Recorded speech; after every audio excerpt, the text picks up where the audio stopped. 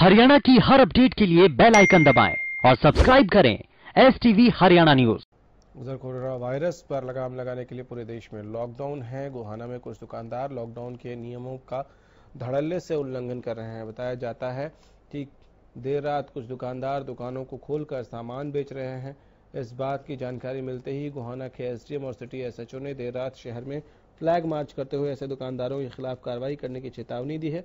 गौरतलब है कि सोनीपत ज़िले में लगातार कोरोना पॉजिटिव मामले बढ़ते जा रहे हैं, जिसके चलते पुलिस प्रशासन भी अलर्ट है और प्रयास कर रहा है कि कोरोना वायरस को बढ़ने से रोका जा सके, लेकिन इसके बावजूद कुछ दुकानदार लॉकडाउन के नियमों का उल्लंघन करके न सिर्फ़ खुद को खतरे में डाल रहे हैं, बल्कि आने वाले लोगों की जान भी जोखिम में डाल रहे हैं।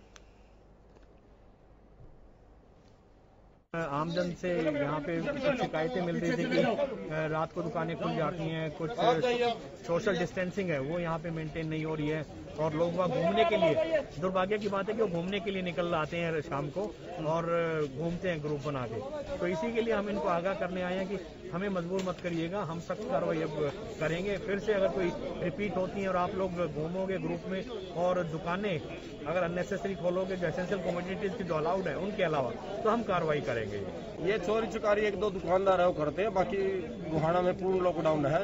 पुलिस लगातार गश्त करी है।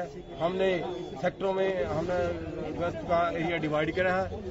बाकी कंप्लेंट आती है, उसी टाइम तुरंत पुलिस कार्रवाई करती है। लॉकडाउन गुहाना में पूर्ण तरह